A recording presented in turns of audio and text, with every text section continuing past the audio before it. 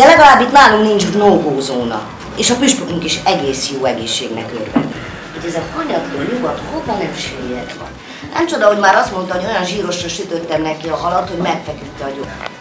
Amúgy is olyan szabadúszó vagyok, hogy partra vetett halak az asszendensen. Az nem látom tisztán a koszta reményem.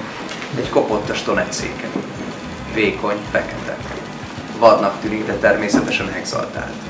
Most már tudom, hogy ő is észrevett, de még mindig úgy tesz meg.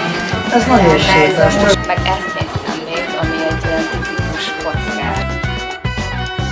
Nem tudom, nem jártatok ti régen a meddőségi centrum? Hagyd, de hogy nem. Nektek hányadikra jött össze? Hát az az igazság, hogy nálam nem ültettek be. Öt percenig azt mondtad, hogy örülsz, hogy hazajöttél, hogy itt vagy, megint én velem, hogy nincs is ennél jobb a világon. Én vagyok a legszebb asszony az egész kontinensen, a bőröm simában frissen kérgelt nyírfánál.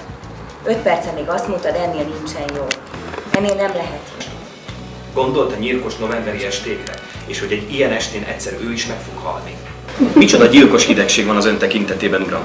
Jó, ígértem, nem urazom. Akkor hogyan szólítson? Iván?